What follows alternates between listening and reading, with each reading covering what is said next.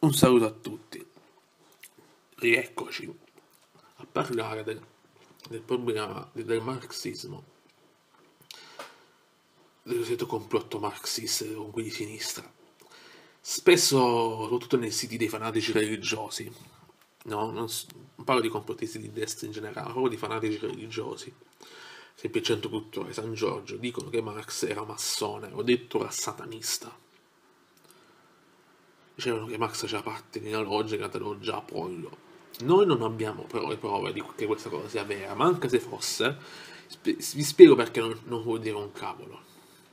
Noi sappiamo di certo che Marx fece parte della Lega, anche Engels, della Lega dei Giusti, che si ispirava, che nasce dalla massoneria e, e si ispirava alla carboneria francese. È un'associazione paramassonica Marx ed Engels ne entrarono nel 1847. Ma loro, diciamo che presero le redini di questa associazione, divenne la Lega dei Comunisti. Il loro motto divenne proletari di tutto il mondo unitevi.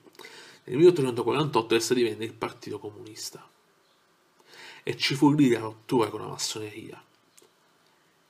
E vi spiegherò anche bene che non è un'ipotesi campaninaria ci sono tutte le fonti citate in descrizione e non è uno scherzo. Se non mi credete, andatevi a leggere.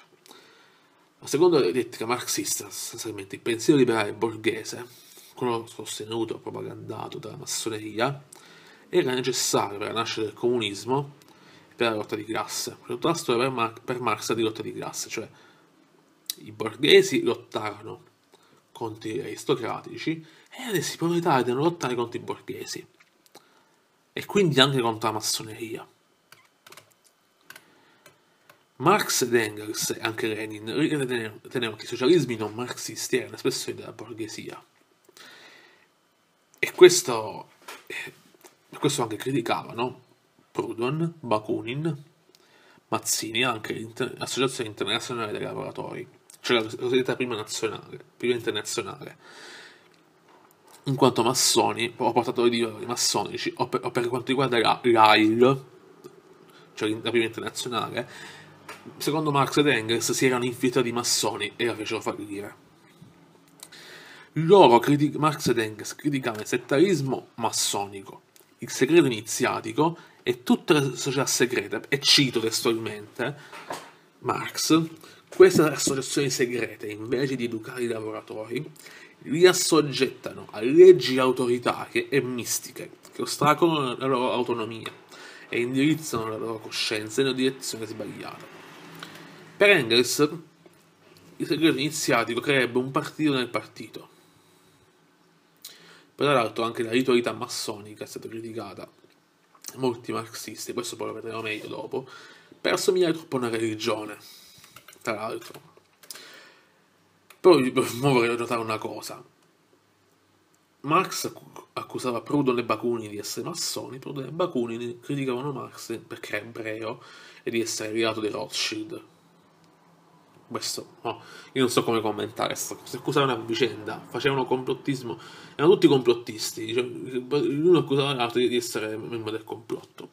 Ma non so chi ha ragione, sinceramente. Marx inoltre afferma che i capitalisti, mentre si comportano da falsi fratelli, tra parentesi, proprio vi dico, fratelli è il termine in cui i massoni si chiamano fra di loro, si comportano da falsi fratelli nella loro concorrenza reciproca, costituiscono poi una vera e propria massoneria di fronte all'insieme della classe operaia. Cioè, invece di infiltrarsi nello Stato per distruggerlo, si infiltra nei partiti rivoluzionari per farli fallire.